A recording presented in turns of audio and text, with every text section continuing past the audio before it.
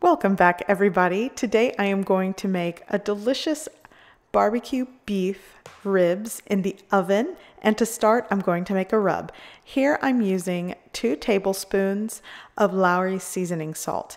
You could just use salt if you like, but I like to use seasoning salt. I'm also going to use one tablespoon of onion powder, one tablespoon of garlic powder. By the way, please be sure to click that bell notification to get all of my newest videos and subscribe, like, and share. I appreciate it. I'm also going to add two tablespoons of salt-free lemon pepper. And if you do have lemon pepper that has salt in it, just adjust the seasoning salt. I'll also be adding one tablespoon of smoked paprika.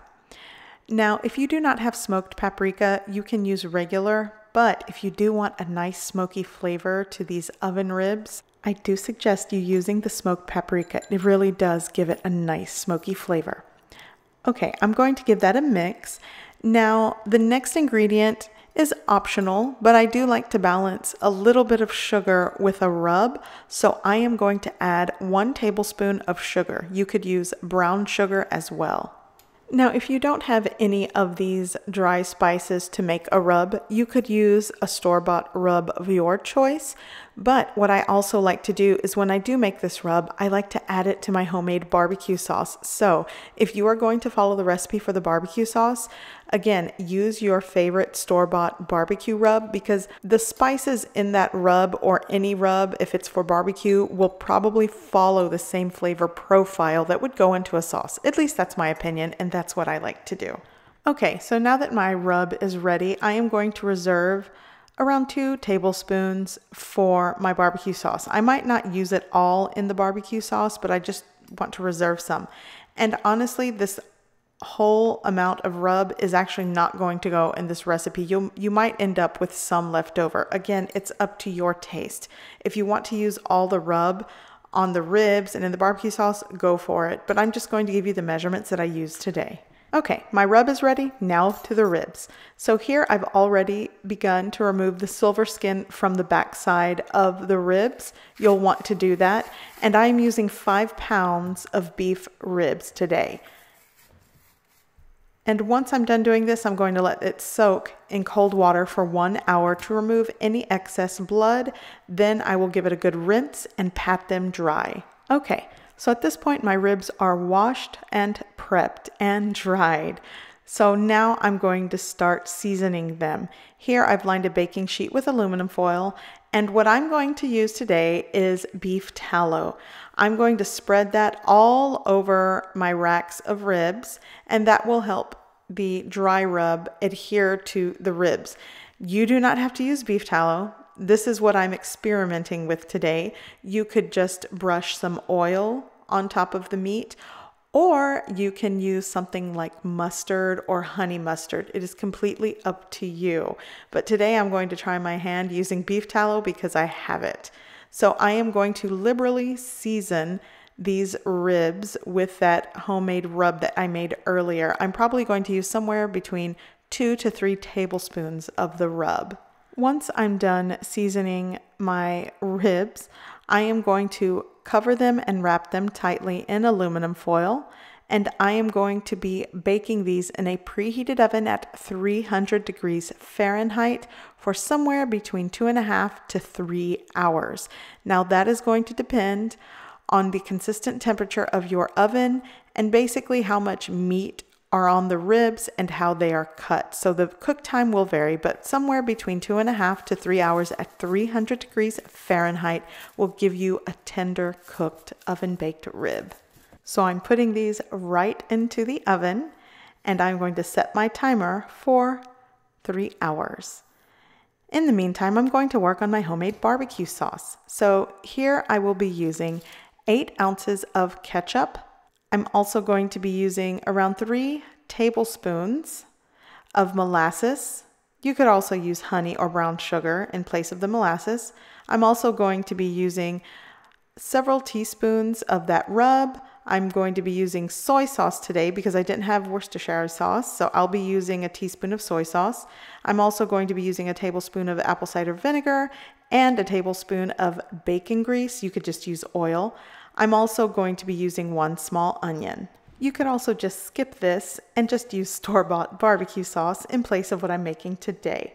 Okay, so to start this barbecue sauce, I'm going to add that rendered bacon fat that I had from an earlier recipe. By the way, check out the link below.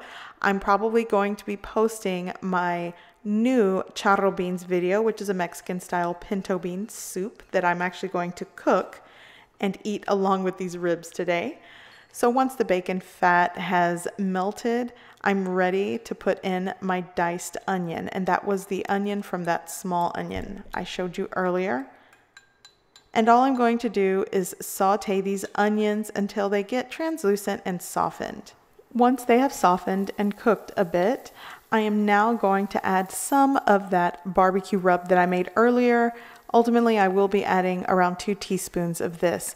And again, a lot of this depends on your preference. For example, I'm going to add molasses to balance the salty, sweet, and tang of this barbecue sauce. If you want it sweeter, you might want to add more.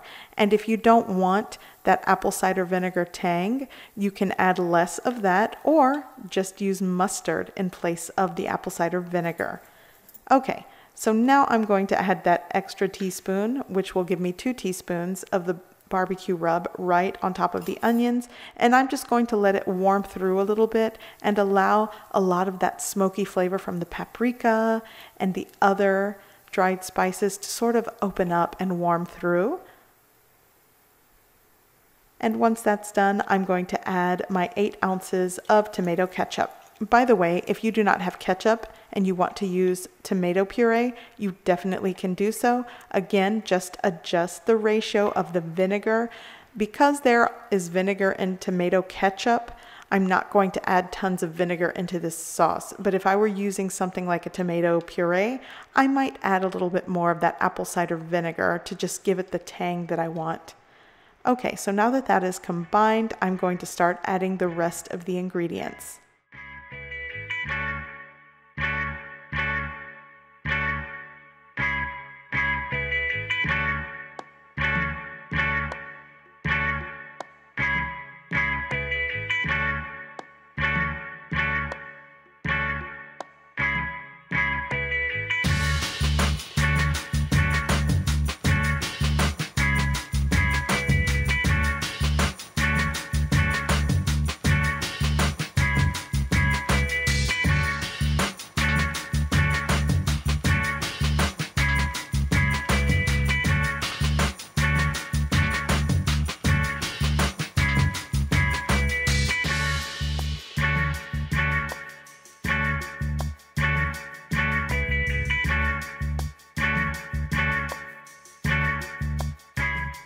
My barbecue sauce is ready and I think my beef ribs are ready to be sauced. So I removed them from the oven and I want to show you what they look like. My ribs have been cooking for two hours and 45 minutes, not quite three hours. So again, the cook time can vary and you'll want to cook them to your desired tenderness. And right now, these are perfect. So I'm going to take them off of this baking sheet and I'm going to place them on another baking pan and I'm going to take my barbecue sauce and slather it all over the ribs, just like this.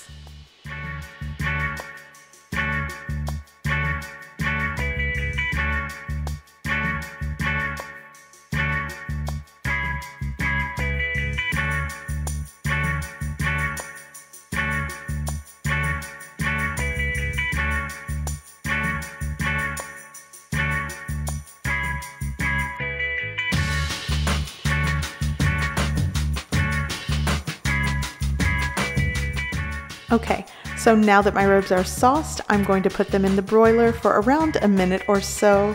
And then after they're bubbling and they'll have a little bit of caramelization, they are done. I'm pulling them out of the oven and I'm going to serve them up.